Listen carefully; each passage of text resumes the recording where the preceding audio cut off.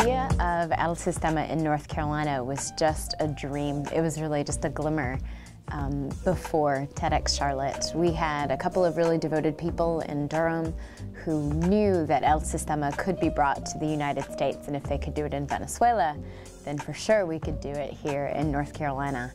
Since TEDx Charlotte, it has been hugely viral in bringing El Sistema to the whole state. My impression was that I would come to TEDx and maybe get a little bit more support for our program in Durham. And what it turned out to be was a maelstrom of supporters, interest, challenges, questions, um, a desire to adopt their own version of El Sistema in communities across the state. Since the TEDx talk, I was invited to speak in Carnegie Hall to a national audience at the greatest stage in the world for classical music about innovation in orchestras, innovation in social uh, movements and in education. I thought we were going to have 60 kids, all kindergarteners, all playing violin. That went off fine. Now we have had such a demand from the community that in our second year, I was going to add just 10 more kids. We're moving to 100 kids. So we're moving from 60 to 100. I thought we would continue a second year on violin. The kids and their parents have insisted they want to add violas, cellos, trumpets, flutes, percussion, choir.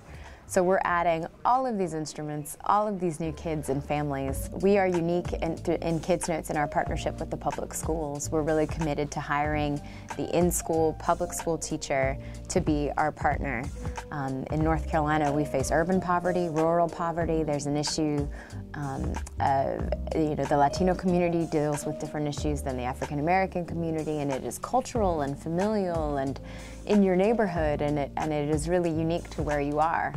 Um, so different different organizations have approached us about how we've done it in Durham, and then they look to their own local needs and local issues about what they need to adopt in El Sistema. What are the pieces of empowerment or peer mentoring or um, early childhood education?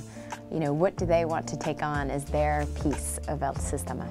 So what's amazing about El Sistema is it is an international movement. So my program in Durham has constant contact with the programs in New York, Boston, Philadelphia, Los Angeles, Atlanta.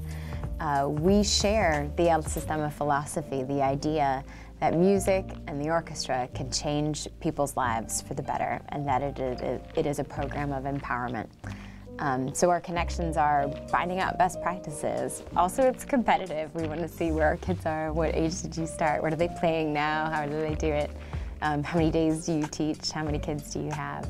And I think having that competitive energy is really positive because it's all about pushing the kids as far as they can possibly go and setting challenges, you know, that would otherwise not be met or, or wouldn't be expected of, of me, of our organization, or of the kids. El Sistema is just one piece of what's going on in, in changes in the arts and what artists and musicians feel like they can do and what is their responsibility to give back to the community. I really, I really feel like El Sistema is taking solid root in the U.S. and that North Carolina has been an excellent fertile ground for those partnerships to form.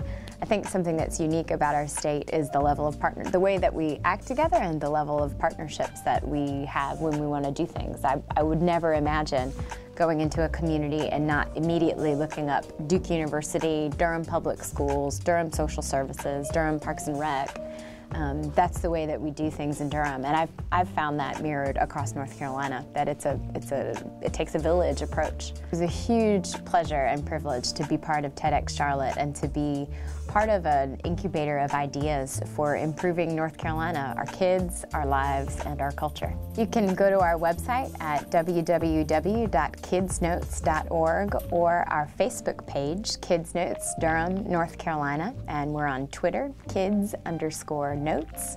Also, the El Sistema USA page has KidZNotes featured on the US map.